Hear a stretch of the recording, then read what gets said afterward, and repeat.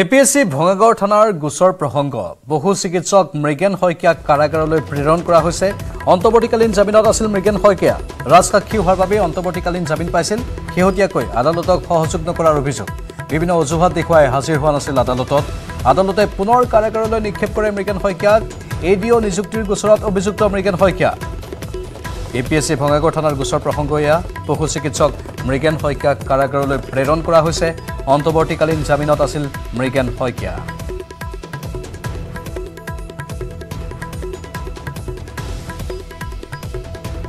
ৰাজসাক্ষী হোৱাৰ বাবে পাইছিল জামিন। কিন্তু সমগ্ৰ ঘটনা সন্দৰ্ভত যিহেতু আকৌ তদন্ত হ'ল সেয়েহে এতিয়া তেওঁক গ্ৰেপ্তাৰ কৰা হৈছে। বিভিন্ন অজুহাত দেখুৱাই তেওঁ আদালতত হাজিৰ হোৱা নাছিল। আৰু আদালতক সহযোগ নকৰাৰ অভিযোগতেই তেওঁক পুনৰ কাৰাগাৰলৈ নিক্ষেপ কৰা হৈছে।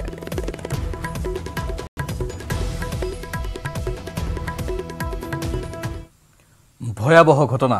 বিগত এমাহ ধৰি ৰাজ্যত ভয়ংকৰ হাৰত বাঢ়িছে কিশোৰী যুৱতী নিৰুদ্দেশৰ ঘটনা। মাত্ৰ পঁয়ত্ৰিছ দিনত সাতত্ৰিছগৰাকী মহিলা নিৰুদ্দেশ হোৱা ঘটনাত থৰকাচুটি হেৰাইছে আৰক্ষীৰ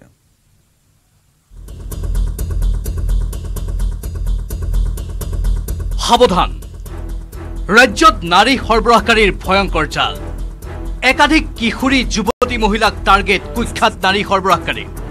মাত্ৰ পঁয়ত্ৰিছ দিনত সাতত্ৰিছগৰাকী কিশোৰী যুৱতী নিৰুদ্দেশ হোৱাৰ পাছতে হাহাকাৰ লাগিছে অসম আৰক্ষীত ইতিমধ্যে আৰক্ষীয়ে পঁচিছগৰাকীক উদ্ধাৰ কৰাৰ বিপৰীতে এতিয়াও সন্ধানহীন হৈ আছে বাৰগৰাকী কিশোৰী যুৱতী মহিলা। প্ৰথমে ডিব্ৰুগড় জিলাত সেনচকু পৰিছিল ৰাহুল গেঙৰ। পোন্ধৰ জানুৱাৰীত মৰাণৰ পৰা নিৰুদ্দেশ হৈছিল এগৰাকী যুৱতী। যুৱতীগৰাকী উদ্ধাৰ নহওঁতেই ন ফেব্ৰুৱাৰীৰ ভিতৰত মৰাণৰ পৰা নোহোৱা হ'ল এটি শিশুৰ সৈতে আন ষোল্লগৰাকী মহিলা। আনকি সাতাইছ জানুৱাৰীত মৰাণ থানাত ছটা নিৰুদ্দেশৰ গোচৰ ৰুজু হোৱাৰ পাছতে হাহাকাৰ লাগিছিল আৰক্ষীৰ পঁচিছ দিনত মৰাণৰ পৰা এটি শিশুৰ লগতে নিৰুদ্দেশ হোৱা ষোল্লগৰাকী যুৱতী মহিলাৰ মাজৰ মাত্ৰ আঠগৰাকীক উদ্ধাৰ কৰিবলৈ সক্ষম হৈছে আৰক্ষীয়ে। আনফালে দুগৰাকী মেট্ৰিক পৰীক্ষাৰ্থীক লৈ চৰ্চাত থকা মৰিয়নিৰ পৰা ষোল্ল ফেব্ৰুৱাৰীত নিখোজ হৈছে আন তিনিগৰাকী যুৱতী। সৌভাগ্যক্ৰমে তিনিওগৰাকীকে উদ্ধাৰ কৰিবলৈ সক্ষম হৈছে পৰিয়াল তথা আৰক্ষীয়ে। বিগত এসপ্তাহত যোৰহাট চহৰৰ পৰা নিৰুদ্দেশ হোৱা আন চাৰিগৰাকী যুৱতীকো উদ্ধাৰ কৰিছে আৰক্ষীয়ে। যোৰহাটৰ চোলাধৰা জালুকনি নিমাতী আদি ঠাইৰ পৰা তৎপৰতাৰে আৰক্ষীয়ে চাৰিগৰাকী যুৱতীৰ লগতে উদ্ধাৰ কৰিছে নগাঁৱৰ পৰা নিৰুদ্দেশ হোৱা আন দুগৰাকী কিশোৰীক। উজনিত আৰম্ভ হোৱা অসাধু পৰম্পৰাই শেহতীয়াকৈ গ্ৰাস কৰিছে মহানগৰী। সৰস্বতী পূজাৰ দিনা কিশোৰী নিৰুদ্দেশৰ খবৰ ইতিমধ্যে চৰ্চিত হৈছে ৰাজ্যত। তাৰ পূৰ্বে আঠাইছ জানুৱাৰীৰ দিনা সোণাপুৰত অভিযান চলাই মহানগৰ আৰক্ষীয়ে অপহৰণকাৰীক গ্ৰেপ্তাৰ কৰি উদ্ধাৰ কৰিছিল এগৰাকী অপহৃতা। সৰস্বতী পূজাৰ পৰা ভয়াৱহ ৰূপ লোৱা নিৰুদ্দেশৰ ঘটনাৰ বলি হৈছে সাতগৰাকী কিশোৰী। সৌভাগ্যক্ৰমে চাৰিদিনত গুৱাহাটীৰ পৰা নিৰুদ্দেশ হোৱা সাতগৰাকী কিশোৰীক তৎপৰতাৰে উদ্ধাৰ কৰিবলৈ সক্ষম হৈছে মহানগৰ আৰক্ষীয়ে ৰাজ্যত ধাৰাবাহিক কিশোৰী যুৱতী আৰু মহিলা নিৰুদ্দেশ হৈ থকাৰ মাজতে আৰক্ষীৰ তদন্তত পোহৰলৈ আহিছে ৰাহুল কোট। ৰাহুল ছদ্ম নামেৰে হাৰিয়ানাৰ পৰা অসমৰ গাঁৱে ভূঞে বিস্তাৰিত হৈ থকা নেটৱৰ্কৰ খবৰে চিন্তাত পেলাইছে খোদ আৰক্ষীকো। মৰিয়নিৰ দুগৰাকী মেট্ৰিক পৰীক্ষাৰ্থীৰ লগতে নাৰায়ণপুৰৰ দুগৰাকী কিশোৰী আৰু মৰাণৰ আঠগৰাকী মহিলা যুৱতী উদ্ধাৰ হোৱাৰ পাছত উৎখাত হোৱাৰ সম্ভাৱনা আছে। নাৰী সৰবৰাহকাৰী চক্ৰতো news desk news eighteen Assam north east. মুঠতে ৰাজ্যত ধাৰাবাহিকভাৱে নিৰুদ্দেশ হৈ আছে ইগৰাকীৰ পিছত সিগৰাকী কিশোৰী। এইবাৰ লখিমপুৰত চাৰিদিন ধৰি সন্ধানহীন হৈ আছে দুই ভগ্নী। মানৱ সৰবৰাহকাৰীৰ কবলত পৰাৰ সন্দেহ কৰিছে পৰিয়ালে। ধাৰাবাহিকভাৱে কিশোৰী নিৰুদ্দেশৰ ঘটনাই এতিয়া উদ্বিগ্ন কৰি তুলিছে সকলোকে। ৰাজ্যত সক্ৰিয় নাৰী সৰবৰাহকাৰী চক্ৰ। গুৱাহাটী ন কছাৰীৰ পিছত এইবাৰ লখিমপুৰ। নিৰুদ্দেশ ইজনীৰ পিছত সিজনী কিশোৰী। মানৱ সৰবৰাহকাৰীৰ কবলত পৰাৰ সন্দেহ পৰিয়ালৰ। ৰাজ্যত ধাৰাবাহিকভাৱে নিৰুদ্দেশ হৈ আছে কিশোৰী। আশ্চৰ্যজনকভাৱে নিৰুদ্দিষ্ট কিশোৰীসমূহৰ বয়স প্ৰায় বাৰৰ পৰা সোতৰ বছৰ। এইবাৰ নাৰায়ণপুৰৰ মেৰমুখ তিনিটিয়াত শনিবাৰৰ পৰা নিৰুদ্দেশ হৈ আছে মনালিছা বেগম আৰু জুবলি বেগম নামৰ দুগৰাকী কিশোৰী। নিৰুদ্দিষ্ট কিশোৰী দুগৰাকী সম্পৰ্কত ভগ্নী। আশ্চৰ্যজনকভাৱে নিৰুদ্দিষ্ট কিশোৰীৰ আটাইৰে বয়স প্ৰায় বাৰৰ পৰা সোতৰ বছৰ। ছোৱালী দুজনী আপোনাৰ। এজনী আমাৰ ভণ্টিৰ বয়স হ'ল আপোনাৰ সোতৰ বছৰ চাৰি মাহ কি নাম? মনালিছা বেগম মিছ। আপোনাৰ সৰুজনী হৈ গ'ল আপোনাৰ তেৰ বছৰ ছেভেনত পঢ়ি আছে আপোনাৰ মিছ জুবলি বেগম সৰুজনী। একে গাঁৱৰে আপোনাৰ ঘৰৰ ওচৰৰ এইটো ঘৰৰ ওচৰতে। আপোনাৰ এনেই আমি শুনাৰ মতে মানে ল'ৰা এটা নগাঁৱৰ ৰূপহী ভাল পায় মানে ল'ৰাটোৰ নাম ইলিয়াছ আলি। বাকী আমি আপোনাৰ ল'ৰাটোৰ ফোন নাম্বাৰটো আপোনাৰ পাইছিলোঁ সেইটোও আমি থানাত দিলোঁ। আপোনাৰ বাকী কি কৰিছে থানা আমি বিশেষ একো গমেই নাপাওঁ এতিয়ালৈকে আপোনাৰ। সন্দেহ কৰিছোঁ মানে আপোনাৰ এ, বেলেগতো চিনাকি নাই আপোনাৰ আমাৰ ভণ্টি ইমান দূৰ ওলাই আজিলৈকে গৈ পোৱা নাই লখিমপুৰে অকলে নাযায়। গতিকে আপোনাৰ সেই ছোৱালীজনী যেতিয়া ইমান দূৰ পাইছে কিবা এটা কানেকশ্যন নিশ্চয় থাকিব লাগিব। সন্দেহ কৰিছোঁ আমি অপহৰণ কৰিছে বুলি। আনহাতে জল জীৱন আঁচনিৰ কাম কৰা এজন শ্ৰমিকৰে হলিগলি হৈছিল এগৰাকী কিশোৰীৰ। আঠটা বজাৰ পৰা ইয়াত ছোৱালীজনী নাই মানে। দুজনীয়ে নাই মানে মোৰ ছোৱালীটো নহয় মানে দুজনীয়ে নাই। ক'ত গ'ল? কি কথা? সেনেকৈ শুনিছোঁ মানে নাই নাই নাই নাই নাই এতিয়ালৈকে নাই মানে। পানীৰ যে কিবা বনাই আছিলে যে কি? জল জীৱন মিছন। অ, জল জীৱন এইবিলাক বনাই আছিলে যে তাৰে কোনোবা লোৱাৰ লগত লগ অলপ কৰা কৰা কৰি নিচিনা কৰে বুলিও কৈছে। কিছুমানে কয় সেইবিলাকৰ নাম মই নাজানো বাৰু কোনে কি কয় মানে কৈছে আৰু শুনি গৈছোঁ। সেনেকুৱা দুটা হেনো ৰাতিপুৱা মৰ্ণিং ৱাক কৰিবলৈও যায়। মই ছোৱালীটোক ক'লোঁ তই কেলৈ এনেকৈ মৰ্ণিং ৱাক কৰিব যাওঁ আজি অত দিন নাযাওঁ এতিয়া যে গৈ থাকো কথাটো কি? মাৰ কথা শুনিবি? মানে তেতিয়াৰ পৰা এতিয়ালৈকে পোৱা নাই মই মানে। ঘটনা সন্দৰ্ভত নাৰায়ণপুৰ থানাত দাখিল কৰা হৈছে এজাহাৰ। পৰিয়ালৰ এজাহাৰৰ পিছতে আৰক্ষীয়ে মোবাইল ট্ৰেছ কৰি ৰূপহীত কিশোৰী দুগৰাকীৰ অৱস্থিতি লাভ কৰে। আনহাতে সোমবাৰে নিশা মনালিছা বেগমৰ বৌয়েকৰ মোবাইলত মিছ কল দিয়ে কিশোৰী দুগৰাকীয়ে। লগে লগে পিতৃয়ে ফোনযোগে যোগাযোগ কৰাত দুয়ো কেৰেলাত থকা বুলি জনায়। এগৰাকী মহিলাৰ ঘৰত আবদ্ধ দুই কিশোৰী। দুই কিশোৰীৰ ভাষ্য অনুসৰি কেৰেলালৈ ফুৰাবলৈ নিম বুলি এখন গাড়ীত উঠাই নিছিল এজন লোকে। বাহনখনত আছিল আৰু পাঁচজন লোক। আটায়ে পৰিধান কৰি আছিল ক'লা কাপোৰ। ইতিমধ্যে নগাঁৱৰ ৰূপহীলৈ ৰাওনা হৈছে নিৰুদ্দিষ্ট কিশোৰীদ্বয়ৰ পৰিয়ালৰ লোক। ৰাজ্যত এনেদৰে এতিয়া ধাৰাবাহিকভাৱে কিশোৰী নিৰুদ্দেশৰ ঘটনাই উদ্বিগ্ন কৰিছে সকলোকে। এটা কথা প্ৰায় নিশ্চিত যে ঘটনাৰ আঁৰত নাৰী সৰবৰাহকাৰী চক্ৰ জড়িত আছে। আৰক্ষীৰ সঠিক তদন্তৰ পিছতহে পোহৰলৈ আহিব এই ঘটনাৰ প্ৰকৃত তথ্য। লখিমপুৰৰ পৰা Sanjeev Lahon news eighteen Assam north east.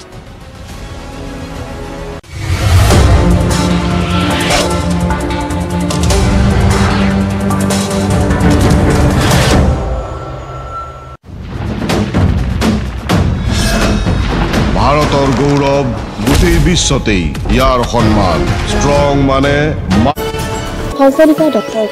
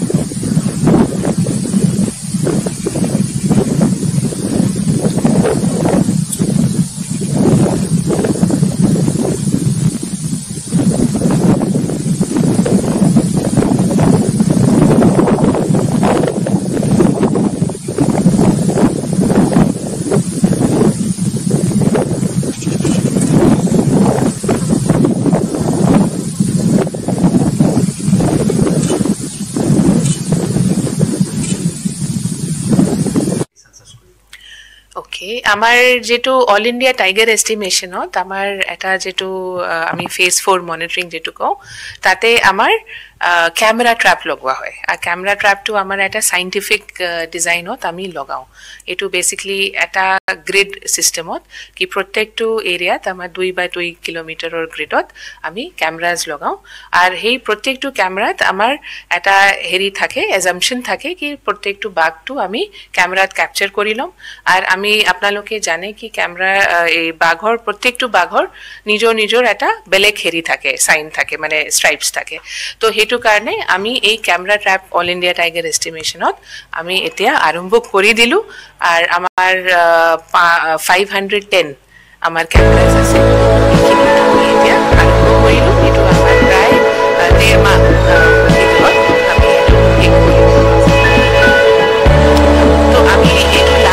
যিটো কৰিছিলোঁ সেইটো আমি সদায় এভৰি ইয়েৰ কৰোঁ।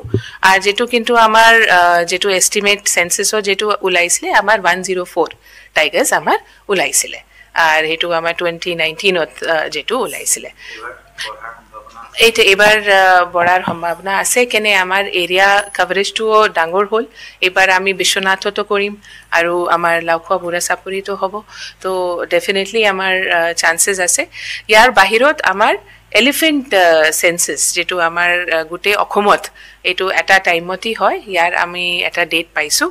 তো সেইটো আমাৰ সাত দিনৰ কাৰণে বিছ টুৱেণ্টি ফেব্ৰুৱাৰীৰ পৰা টুৱেণ্টি ছেভেন ফেব্ৰুৱাৰীলৈকে আছে।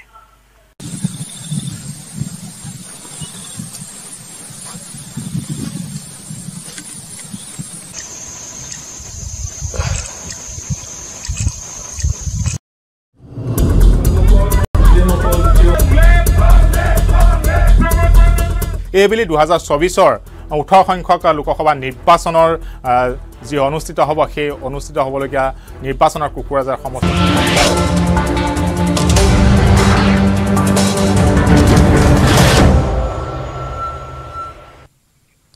এইবাৰ নলবাৰীৰ বৰহৰকুচিত বিচনাত উদ্ধাৰ হ'ল মাতৃ পুত্ৰৰ মৃতদেহ।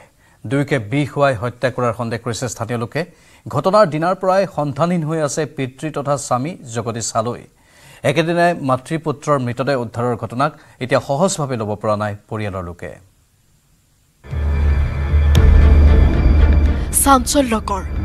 বিচনাত উদ্ধাৰ মাতৃ পুত্ৰৰ মৃতদেহ। ঘটনাৰ পাছৰে পৰা সন্ধানহীন পিতৃ। খুদ স্বামী পত্নী আৰু সন্তানক হত্যা কৰি পলাই যোৱাৰ সন্দেহ। নলবাৰীৰ বৰ্ষৰকুচিত সংঘটিত হৈছে এই চাঞ্চল্যকৰ ঘটনা। সোমবাৰে নিশা ঘৰৰ ভিতৰত বিচনাত উদ্ধাৰ হৈছিল কবিতা হালৈ আৰু ঋষিকেশ কাশ্যপৰ মৃতদেহ। সন্ধান নাছিল স্বামী তথা পিতৃ জগদীশ হালৈৰ নিহত পোন্ধৰ বছৰীয়া ঋষিকেশ কাশ্যপ আছিল বিশেষভাৱে সক্ষম। পুত্ৰৰ লগতে পত্নীক বিষ খুৱাই হত্যা কৰাৰ সন্দেহ। কিয়নো ঘটনাৰ পাছৰে পৰা সন্ধানহীন হৈ আছে ইণ্ডাছ ইন বেংকত কৰ্মৰত জগদীশ হালৈ কম মানে আমি ক'ব পৰা হেৰি নহয় এতিয়া। এতিয়া সেনেকুৱা যি হ'ব এটা ঘটনা ঘটব আমি নিজেও আচৰিত। ইফালে নলবাৰীৰ একত্ৰিশ নম্বৰ ৰাষ্ট্ৰীয় ঘাইপথৰ কাষত থকা J L line hotel and ধাবাৰ সন্মুখত সোমবাৰে পুৱা প্ৰায় চাৰে ন বজাত স্কুটিত হৈ বৰপেটা দিশৰ বাছত উঠিছিল জগদীশ হালৈ বাছত উঠাৰ পূৰ্বে হোটেলৰ মেনেজাৰ ৰুবুল দাসৰ হাতত স্কুটিৰ চাবি দি গধূলি আহিম বুলি জনাইছিল জগদীশ হালৈয়ে। লগতে জগদীশ হালৈৰ হাতত দুটা বেগ থকা বুলিও জনায় মেনেজাৰ ৰুবুল দাসে। হাতত দুটা বেগ আছিল এটা পিঠিত আছে এটা হাতত আছে। মৃতদেহ উদ্ধাৰ হোৱাৰ দিনা ঋষিকেশ কাশ্যপৰ আছিল জন্মদিন। একেদিনাই বিচনাত মাতৃ পুত্ৰৰ মৃতদেহ উদ্ধাৰৰ ঘটনাক সহজভাৱে ল'ব পৰা নাই পৰিয়ালৰ লোকে। জগদীশ হালৈক আটক কৰিলেহে পোহৰলৈ আহিব ঘটনাৰ প্ৰকৃত ৰহস্য।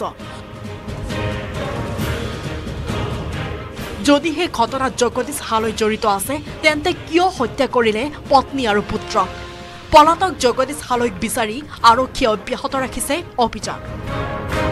নলবাৰীৰ পৰা কৈলাশ কলিতাৰ report news eighteen Assam north east. তেলেংগানাৰ বিজয় সংকল্প যাত্ৰাত পুনৰ ৰাহুল গান্ধীক তোলা ধুনা মুখ্যমন্ত্ৰী হিমন্ত বিশ্ব শৰ্মাৰ। ভাৰত ভ্ৰমণ কৰিলেই ৰাহুল গান্ধী নিৰ্বাচনত হাৰে বুলি কটাক্ষ মুখ্যমন্ত্ৰীৰ। প্ৰথমবাৰ ভাৰত জোৰো যাত্ৰাৰ পাছত তিনিখন ৰাজ্যৰ নিৰ্বাচনত হাৰিছিল কংগ্ৰেছ। এইবাৰ ভাৰত জোৰো ন্যায় যাত্ৰা শেষ হোৱাৰ পাছত সমগ্ৰ দেশৰ পৰা কংগ্ৰেছ নিশ্চিহ্ন হৈ যাব বুলি ভৱিষ্যতবাণী কৰিলে অসমৰ মুখ্যমন্ত্ৰী হিমন্ত বিশ্ব শৰ্মাই। তেলেংগানা মে आज से हमारा पार्टी ने विजय संकल्प यात्रा शुरू किया है। सारू जगह से विजय संकल्प यात्रा शुरू हुआ है। मुझको बताया गया कि आदिलाबाद से आप जाके शुरू करवा दीजिए, मैंने आया। और असेंबली चुनाव का बाद कार्यकर्ता का ऐसा उत्साह उमंग रहेगा, वो मैं सोचा भी नहीं था।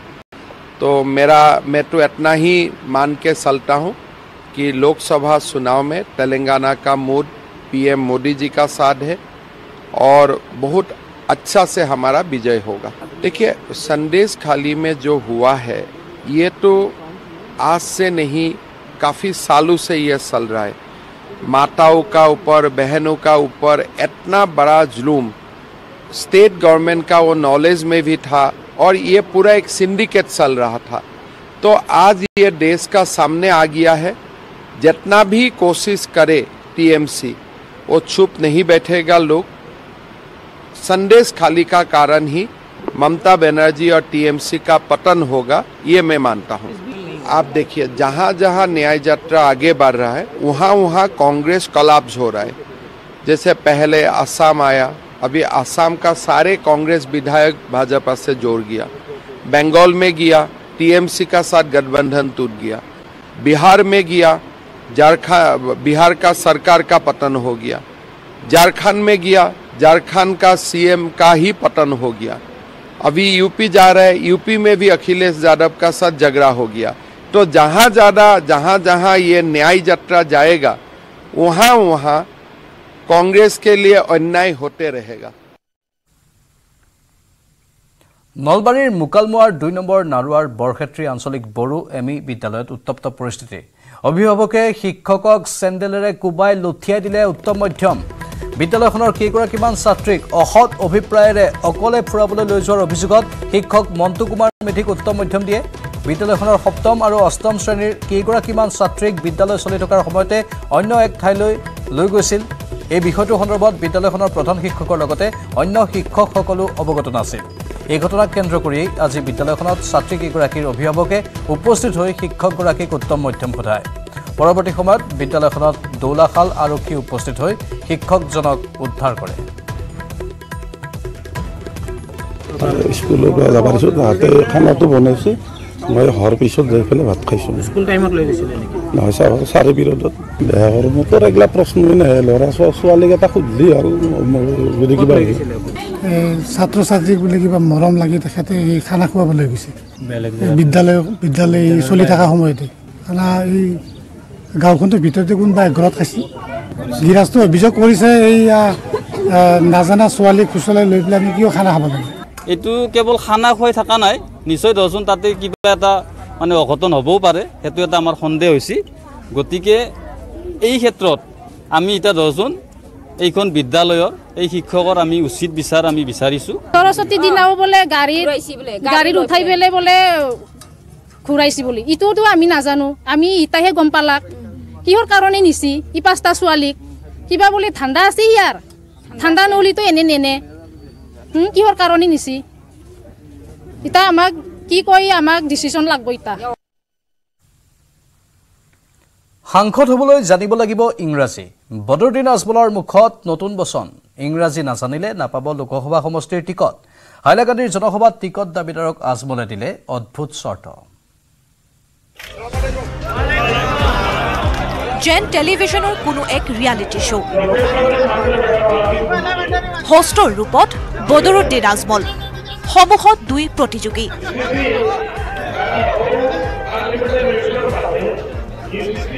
দুই সাংসদ পদৰ টিকেট প্ৰত্যাশী। আজমলে এলান কৰিলে জাৰি। যি ইংৰাজীত ভালকৈ ভাষণ দিব পাৰিব সিয়ে পাব কৰিমগঞ্জ লোকসভা সমষ্টিৰ প্ৰাৰ্থিত্ব। বিষয়ো নিৰ্ধাৰণ কৰি দিয়া হ'ল এন আৰ চি কা অথবা ইউ চি চিৰ ওপৰত ৰাখিব লাগিব ইংৰাজী ভাষণ। ইয়াৰ পিছতেই গেম ষ্টাৰ্ট হষ্টৰ নিৰ্দেশ মানি ডক্টৰ কে এম বাহাৰুল ইছলামে আৰম্ভ কৰিলে।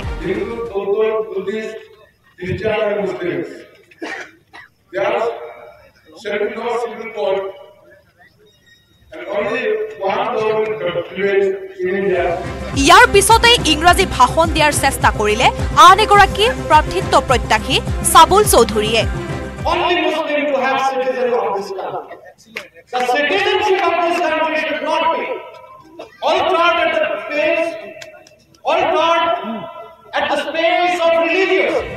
আজমলৰ এই লাইভ ৰিয়েলিটি শ্ব' সমূহৰ গেলাৰীৰ পৰা উপভোগ কৰিলে কৰিমগঞ্জৰ শ শ লোকে।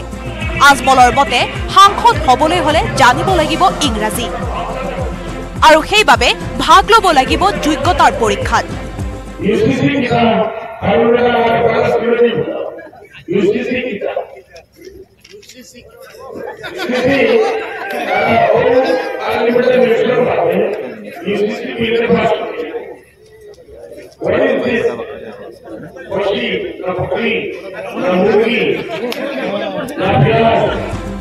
আগন্তুক লোকসভা নিৰ্বাচনৰ বাবে হাইলাকান্দি জিলাৰ দীনানাথপুৰ গাঁৱত আয়োজন কৰা হৈছিল জনসভাৰ।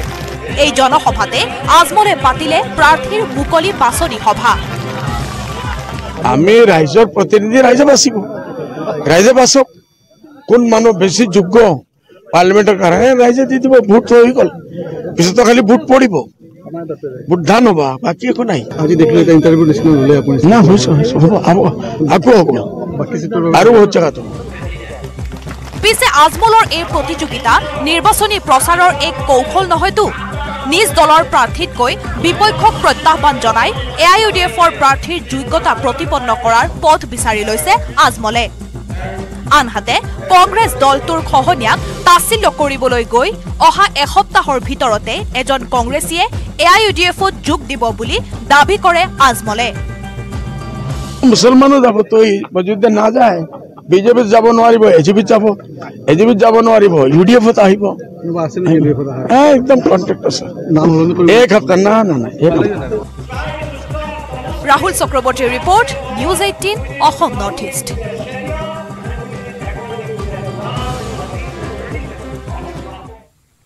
দল ত্যাগ নকৰাকৈয়ে শশীকান্ত দাসৰ ফৰ্মুলাত চৰকাৰী পক্ষলৈ সমৰ্থন দিবলৈ সাজু হৈ আছে আঠজনকৈ কংগ্ৰেছী বিধায়কে। কমলাক্ষদেৱ পুৰকাষ্ঠ আৰু বসন্ত দাসৰ পিছত এই আঠ বিধায়কে চৰকাৰী পক্ষ তথা মুখ্যমন্ত্ৰীক মুকলি সমৰ্থন দি দুহেজাৰ ছাব্বিছৰ বিধানসভা নিৰ্বাচনৰ পূৰ্বে ভাগে ভাগে যোগ দিব শাসকীয় পক্ষৰ দল বিজেপি আৰু এ জি পিত। এই ৰিপৰ্ট আগবঢ়াই বিদায় লৈছোঁ ছুপাৰ প্ৰাইম এইটিনৰ পৰা। নমস্কাৰ।